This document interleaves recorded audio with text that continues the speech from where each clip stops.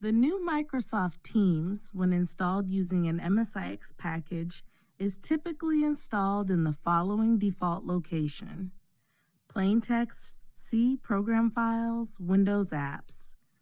However, this folder is protected, so you might not have direct access to it unless you change permissions. Here's how to view it. 1. Press WinR type in C Program Files, Windows Apps, and press Enter. If access is denied, you'll need to adjust folder permissions.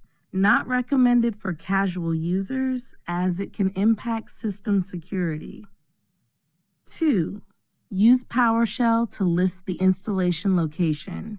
PowerShell, check the install location of Microsoft Teams get Appx package dash name teams, select object, install location. This command will display the actual installation path for Microsoft Teams installed via MSIX.